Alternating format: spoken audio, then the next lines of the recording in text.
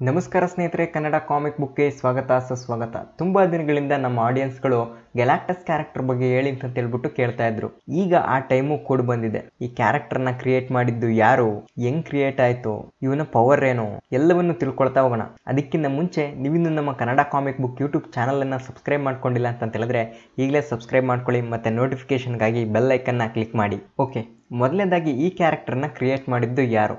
ಅದು ಈ ಕ್ಯಾರೆಕ್ಟರ್ನ ಸ್ಟೋರಿಯನ್ನ ಬರೆದಿದ್ದು ನಮ್ಮ ಸ್ಟ್ಯಾನ್ಲಿ ತಾತ. ಮತ್ತೆ ನೋಡೋದಕ್ಕೆ ಇದೇ ರೀತಿ ಕಾಣಿಸ್ಬೇಕು ಅಂತಂತೇಳಿ ಆರ್ಟ್ ವರ್ಕ್ ಮಾಡಿದ್ದು ಜಾಕ್ ಕರ್ಬಿ ಅವರು. ಇವರಿಬ್ಬರ ಪರಿಶ್ರಮದಿಂದ ಸಾವಿರದ ಒಂಬೈನೂರ ಅರವತ್ತಾರನೇ ಇಸ್ವಿನಲ್ಲಿ ಮಾರ್ಚ್ ತಿಂಗಳಿನಲ್ಲಿ ಫ್ಯಾಂಟಾಸ್ಟಿಕ್ ಫೋರ್ ಕಾಮಿಕ್ ಬುಕ್ನ ನಲವತ್ತೆಂಟನೇ ಇಶ್ಯೂ ಬರುತ್ತೆ. ಅಲ್ಲಿ ಮೊದಲು ಈ ಕ್ಯಾರೆಕ್ಟರ್ ಕಾಣಿಸ್ಕೊಳತ್ತೆ. ಆದರೆ ಇದರ ಆರಿಜಿನ್ ಸ್ಟೋರಿ ಬರೋದು ಸಾವಿರದ ಒಂಬೈನೂರ ಎಂಬತ್ಮೂರನೇ ಇಸ್ವಿನಲ್ಲಿ ಮೇ ತಿಂಗಳಿನಲ್ಲಿ ರಿಲೀಸ್ ಆದಂಥ super villain classics Galactus the origin ಅನ್ನೋ ಕಾಮಿಕ್ ಬುಕ್ನಲ್ಲಿ. ನೀವು ಈ ಕ್ಯಾರೆಕ್ಟರ್ನ ಆರಿಜಿನ್ ಸ್ಟೋರಿನ ತಿಳ್ಕೊಳ್ಳೋದಕ್ಕಿಂತ ಮುಂಚೆ ಎರಡು ಥಿಯರೀಸ್ಗಳನ್ನು ತಿಳ್ಕೊಳ್ಬೇಕು. ಅದು ಏನಪ್ಪಾ ಅಂತ ಹೇಳಿದ್ರೆ ಬಿಗ್ ಬ್ಯಾಂಗ್ ಮತ್ತೆ ಬಿಗ್ ಕ್ರಂಚ್ ಅಂತೇಳಿ. ಗ್ಯಾಂಗ್ ಬ್ಯಾಂಗು ಕ್ರಂಚು ಮಂಚು ಅಲ್ಲ ಕಂಡ್ರಪ್ಪವು ಬಿಗ್ ಬ್ಯಾಂಗ್ ಬಿಗ್ ಕ್ರಂಚ್ ಅಂತ. ಅಂದ್ರೆ ಪ್ರಪಂಚ ಯಾವ ರೀತಿ ಒಂದು ಬಿಂದುವಿನಿಂದ ಶುರುವಾಗುತ್ತೋ ಅದೇ ರೀತಿ ಮತ್ತೆ ವಾಪಸ್ ಒಂದು ಬಿಂದುವಿನಲ್ಲೇ ವಾಪಸ್ ಸೇರ್ಕೊಂಡ್ಬಿಡುತ್ತೆ ಅಂತ. ಬಿಗ್ ಬ್ಯಾಂಗ್ ಅನ್ನೋದು ಒಂದು ಬಿಂದು ಸ್ಫೋಟಗೊಂಡು ಇನ್ಫಿನಿಟ್ ಗ್ಯಾಲಾಕ್ಸ್ ಆಗಿ ದೊಡ್ಡದಾಗಿ ಬೆಳೆದ್ಬಿಡುತ್ತೆ. ಇದನ್ನ ಬಿಗ್ ಬ್ಯಾಂಗ್ ಅಂತೇಳಿ ಕರೀತಾರೆ. ಅದೇ ರೀತಿ ಆ ಇನ್ಫಿನಿಟಿ ಆಗಿರುವಂಥ ದೊಡ್ಡ ಗ್ಯಾಲಾಕ್ಸಿ ಕಾಂಪ್ರೆಸ್ ಆಗ್ತಾ ಆಗ್ತಾ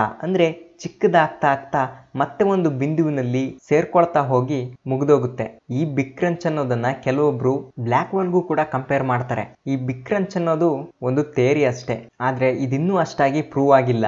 ಬಟ್ ಸೃಷ್ಟಿಯ ಉಗಮ ಮತ್ತೆ ಅಂತ್ಯ ಇದೇ ರೀತಿ ಆಗತ್ತೆ ಅನ್ನೋದು ಕೆಲವರ ನಂಬಿಕೆ. ಅದೇ ರೀತಿ ಈ ಕಾಮಿಕ್ಸ್ ನಲ್ಲೂ ಕೂಡ ಈ ಕ್ಯಾರೆಕ್ಟರ್ನ ಹುಟ್ಟು ಮತ್ತೆ ಆರಿಜಿನ್ ಸ್ಟೋರಿ ಜೊತೆ ಎಣ್ಕೊಂಡಿದೆ. ಇನ್ನು ಈ ಕತೆ ವಿಚಾರಕ್ಕೆ ಬರೋದಾದ್ರೆ ಬಿಗ್ ಬ್ಯಾಂಗ್ ನಡೆಯೋದಕ್ಕಿಂತ ಮುಂಚೆ ಒಂದು ಗ್ರಹ ಇರುತ್ತೆ. ಅದ್ರ ಹೆಸರು ಟಾಂತ್ ಅಂತೇಳಿ. ಅಲ್ಲಿ ಈ ಗ್ಯಾಲಾಕ್ಟಸ್ ವಾಸ ಮಾಡ್ತಾ ಇರ್ತಾನೆ. ಅವಾಗಿನ ಇವನಿಗೆ ಗ್ಯಾಲಾಕ್ಟಸ್ ಅಂತಾನೂ ಕರಿತಾ ಇರಲ್ಲ. ಇವನ ಹೆಸರು ಗ್ಯಾಲನ್ ಅಂತೇಳಿ ಇರುತ್ತೆ. ಇವನು ಒಬ್ಬ ಸೈಂಟಿಸ್ಟು. ಆ ಗ್ರಹದಲ್ಲಿ ತುಂಬಾ ಜನಗಳು ಕಾಸ್ಮಿಕ್ ರೇಡಿಯೇಷನ್ ಇಂದ ಸಾಯ್ತಾ ಇರ್ತಾರೆ. ಕಾರಣ ಏನು ಅಂತಂತೇಳಿ ಇವನು ಹುಡುಕೋದಿಕ್ಕೆ ಹೋದಾಗ ಇವನಿಗೊಂದು ವಿಚಾರ ಗೊತ್ತಾಗುತ್ತೆ. ಸದ್ಯದ್ರಲ್ಲೇ ಬಿಗ್ ಬ್ಯಾಂಗ್ ನಡೆಯುತ್ತೆ. ಅದರಿಂದ ಆ ಭೂಮಿ ಸಂಪೂರ್ಣ ನಾಶ ಆಗುತ್ತೆ. ಸೊ ಹಂಗಾಗಿ ಅಲ್ಲಿನ ಜನಗಳನ್ನೆಲ್ಲ ಅಲ್ಲಿಂದ ಖಾಲಿ ಮಾಡಿಸಿ ಬೇರೆ ಕಡೆ ಎಲ್ಲರೂ ಸೇವ್ ಮಾಡಬೇಕು ಅಂತಂತೇಳಿ ಒಂದು ದೊಡ್ಡ ಸ್ಪೇಸ್ ಶಿಪ್ ಅನ್ನ ಕಟ್ಟಿ ಅದರಲ್ಲಿ ಎಲ್ರನ್ನೂ ಕರ್ಕೊಂಡು ಹೋಗೋದಿಕ್ಕಂತೇಳಿ ಟ್ರೈ ಮಾಡ್ತಾನೆ. ಆದ್ರೆ ಆಗೋದಿಲ್ಲ. ತುಂಬಾ ಜನ ಸತ್ತೋಗ್ತಾರೆ. ಕೊನೆದಾಗಿ ಆ ಗ್ರಹನೂ ಕೂಡ ನಾಶ ಆಗುತ್ತೆ. ಆದ್ರೆ ಇವನು ಆ ಸ್ಪೇಸ್ ಶಿಪ್ನಿಂದ ತಪ್ಪಿಸ್ಕೊಳ್ಳೋದಿಕ್ಕಂತೇಳಿ ಹೋಗ್ತಾನೆ. ಆದ್ರೆ ಆ ಕಾಸ್ಮಿಕ್ ರೇಡಿಯೇಷನ್ ಪೂರ್ತಿ ಅದನ್ನ ಕವರ್ ಮಾಡಿ ಒಂದು ಕಾಸ್ಮಿಕ್ ಯಜ್ಞ ರೀತಿ ಆಗೋಗ್ಬಿಡುತ್ತೆ. ಅದರೊಳಗಡೆನೆ ಅವನು ಮಿಲಿಯನ್ಸ್ ಆಫ್ ಇಯರ್ಸ್ ಬಂದಿಯಾಗಿ ಇದ್ದು ಬಿಡ್ತಾನೆ ಒಂದು ರೀತಿ ಕಾಸ್ಮಿಕ್ ಗರ್ಭದ ಒಳಗಡೆ ಬೆಳೀತಾ ಇರೋ ಒಂದು ಹೊಸ ಜೀವಿ ಥರ ಆಗೋಗ್ಬಿಡ್ತಾನೆ. ಇದನ್ನ ವಾಚರ್ ಅಬ್ಸರ್ವ್ ಮಾಡ್ತಾನೆ. ಅವನಿಗೆ ಗೊತ್ತಾಗುತ್ತೆ, ಇವನು ಬೆಳೆದು ತುಂಬಾ ದೈತ್ಯ ಆಗ್ತಾ ಇದ್ದಾನೆ. ಇವನಿಂದ ಯೂನಿವರ್ಸ್ಗೆ ತೊಂದರೆ ಇದೆ ಅಂತಂತೇಳಿ. ಆದ್ರೂ ಕೂಡ ಅವನು ಏನು ಮಾಡೋದಕ್ಕೆ ಆಗೋದಿಲ್ಲ ಯಾಕಂತ ಹೇಳಿದ್ರೆ ವಾಚರ್ನ ಕೆಲಸ ಬರೀ ವಾಚ್ ಮಾಡೋದು ಅಷ್ಟೇನೆ ಸೊ ಕೊನೆಗೊಂದಿನ ಗ್ಯಾಲಕ್ಟಸ್ ರಿಲೀಸ್ ಆಗೇ ಬಿಡ್ತಾನೆ. ಅದು ತುಂಬಾ ದೈತ್ಯಾಕಾರವಾಗಿ. ಮೊದಲೇ ಮಾಮೂಲಿ ಮನುಷ್ಯ ಇದ್ದವನು ಈಗ ಕಾಸ್ಮಿಕ್ ಜೀವಿ ಬೇರೆ ಆಗ್ಬಿಟ್ಟಿದ್ದಾನೆ. ಇವನ ಹಸಿವು ಕೂಡ ಅಷ್ಟೇ ಸ್ಟ್ರಾಂಗ್ ಆಗಿರುತ್ತೆ.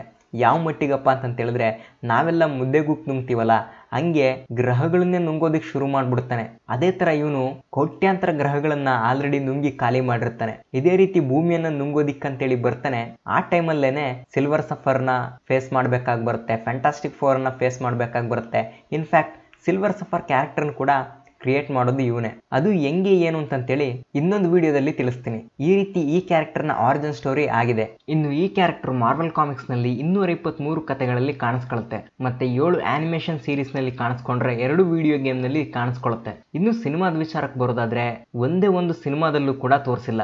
ಆದ್ರೆ ಈ ಕ್ಯಾರೆಕ್ಟರ್ನ ಬಗ್ಗೆ ಫ್ಯಾಂಟಾಸ್ಟಿಕ್ ಫೋರ್ ಟೂ ಸಿನಿಮಾದಲ್ಲಿ ಹೇಳಿದ್ರು. ಸಿಲ್ವರ್ ಸಫರ್ ಭೂಮಿಯನ್ನ ಗ್ಯಾಲಾಕ್ಟಸ್ಗೆ ಹುಡುಕಿ ಕೊಟ್ಟಿರ್ತಾನೆ, ನುಂಗಾಕೊಳ್ಳೋದಿಕ್ಕೆ. ಆದ್ರೆ ಫ್ಯಾಂಟಾಸ್ಟಿಕ್ ಫೋರ್ ಟೀಮ್ ಅವನನ್ನ ಮೀಟ್ ಆದ್ಮೇಲೆ ಭೂಮಿ ಮೇಲೂ ಕೂಡ ಲೈಫ್ ಇದೆ, ಅಲ್ಲೂ ಜನಗಳು ಬದುಕ್ತಾ ಇದಾರೆ ಅಂತೆಲ್ಲ ಅರ್ಥ ಮಾಡಿಸ್ಬಿಟ್ಟು ಗ್ಯಾಲಾಕ್ಟಸ್ ಅನ್ನ ತಡೆಯೋದಿಕ್ಕಂತೇಳಿ ನೋಡಿರ್ತಾರೆ. ಆದ್ರೆ ಗೆಲಾಕ್ಟಸ್ನ ಫುಲ್ ಫಾರ್ಮ್ ಅನ್ನ ಇಲ್ಲಿ ತೋರಿಸಿಲ್ಲ. ಈ ಸಿನಿಮಾದಲ್ಲೂ ಕೂಡ ಡಾಕ್ಟರ್ ಡುಮೆ ವಿಲನ್ ಆಗಿ ಸಿನಿಮಾ ಸದ್ಯಕ್ಕೆ ಸದ್ಯಕ್ಕೇನಾದ್ರೂ ಈ ಕ್ಯಾರೆಕ್ಟರ್ ಎಂ ಸಿ ಕಾಣಿಸ್ಕೊಳತ್ತಾ ಅಂತ ಅನ್ಕೊಂಡಿದ್ರೆ ಖಂಡಿತ ಕಾಣಿಸ್ಕೊಳ್ಳಲ್ಲ ಯಾಕಂದ್ರೆ ಈಗ ಮಲ್ಟಿವರ್ಸ್ ಸಗ ನಡೀತಾ ಇದೆ. ಇಲ್ಲಿ doctor Doom big villain Galactus ಮುಂದೆ ಡಾಕ್ಟರ್ ಡೂಮ್ನ ಪವರ್ ಸಾಲೋದಿಲ್ಲ. ಹಂಗಂತನೂ ಹೇಳಕ್ಕಾಗಲ್ಲ. ಯಾಕಂದ್ರೆ ಡಾಕ್ಟರ್ ಡೂಮ್ ಬಿಹೈಂಡರ್ನೇ ಕೊಂದು ಗಾಡ್ ಡೂಮ್ ಆಗಿರ್ತಾನೆ ಸೀಕ್ರೆಟ್ ವಾರ್ ಕಾಮಿಕ್ಸ್ನಲ್ಲಿ. ಆದ್ರೆ ಗೆಲಾಕ್ಟಸ್ನ ಈ ಮಲ್ಟಿವರ್ಸ್ ಸಾಗದೊಳಗಡೆ ತರೋ ಯಾವ ಲಕ್ಷಣನೂ ಕಾಣಿಸ್ತಾ ಇಲ್ಲ. ಸದ್ಯಕ್ಕೆ ಇದಿಷ್ಟು ಈ ಗೆಲಾಕ್ಟಸ್ ಕ್ಯಾರೆಕ್ಟರ್ ಬಗ್ಗೆ ನನಗೆ ಗೊತ್ತಿರುವಂತ ಮಾಹಿತಿ. ಇನ್ನು ಹೆಚ್ಚಿಗೆನಾದ್ರೂ ನಿಮಗೆ ಗೊತ್ತಿದ್ರೆ ದಯವಿಟ್ಟು ಕಮೆಂಟ್ನಲ್ಲಿ ತಿಳಿಸಿ. ಮತ್ತೆ ಮುಂದಿನ ವಿಡಿಯೋದಲ್ಲಿ ಸಿಗೋಣ.